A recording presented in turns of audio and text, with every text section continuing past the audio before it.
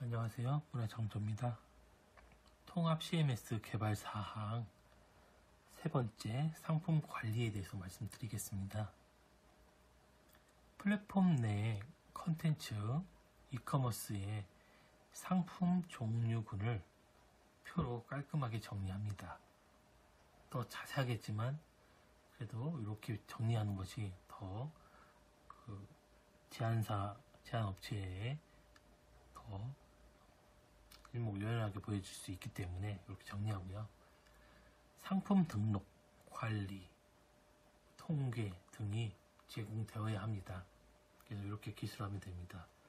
상품 관리는 더 많죠. 이거보다 더 방대한 그 시스템인데 이 부분도 들어가야 된다.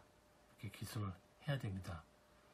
그래서 결국은 컨텐츠와 이커머스의 그 부분에 공통으로 들어가는 부분, 또 차별화로 대- 들어가는 부분들 이렇게 구분해서 기술을 합니다.